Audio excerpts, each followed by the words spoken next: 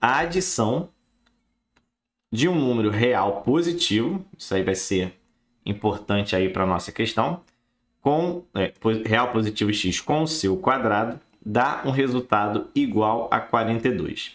Então, esse número é, e aí ele pergunta se esse número é ímpar, maior que 15, enfim. É, então, vamos lá, né? Então, ele começa a falar a adição de um número real positivo x. Então, eu vou pegar o número x e vou somar com alguma coisa. E vou somar com o seu quadrado, ou seja, o quadrado de x, ou seja, x ao quadrado. Dá um resultado igual a 42, então é igual a 42. Então, nota que a gente tem aqui uma equação do segundo grau, certo? É uma equação completa, certo? A gente tem os três termos. Então, eu vou organizar, né? A gente coloca sempre o x ao quadrado na frente.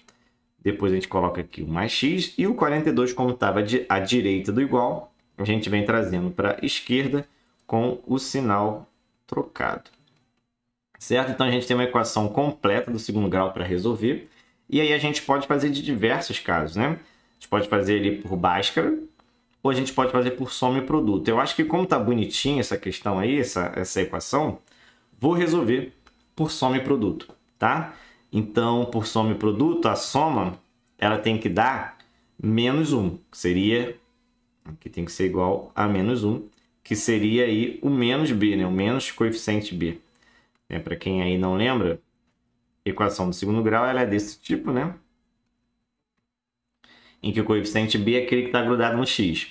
Então, o trocar o sinal do b é pegar aqui o 1 e trocar o sinal, né? Mais 1 vira menos 1. Então, a soma das raízes, eu tenho que pegar aqui dois números, somar e tem que dar igual a menos 1. Tá bom? É, e o produto, que é o c da nossa equação, certo? Que nesse caso aí é o menos 42. Então, eu tenho que pegar dois números e multiplicar, e esse resultado tem que dar menos 42, tá?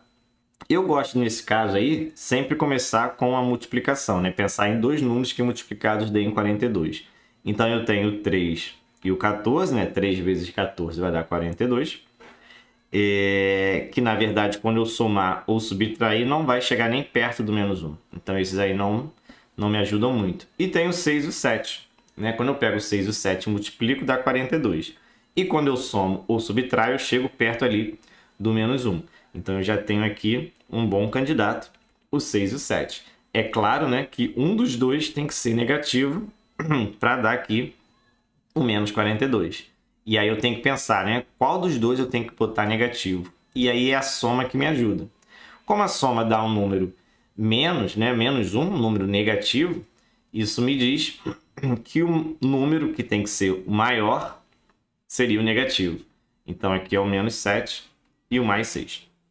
Então nota que se eu somar né, 6 com menos 7 vai dar menos 1. E se eu multiplicar 6 com menos 7, a gente tem aí o menos 42. Tá certo? Então a gente teria aí duas raízes dessa, dessa equação. Né? O 6 e o menos 7.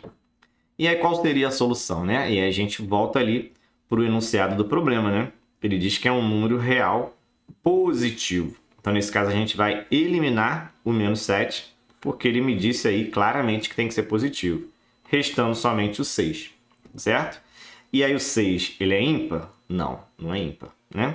Ele é maior que 15? Não, não é maior que 15. Ele é múltiplo de 3? Opa, ele é múltiplo de 3 e ele não é menor do que 5. Então, a resposta, letra C de Cláudio. Questãozinha aí, bonitinha. É claro, né? Se você fizesse ali por Bhaskara, aí a gente já teria lá logo como resultado final o 6 e o menos 7, tá? Sem problemas.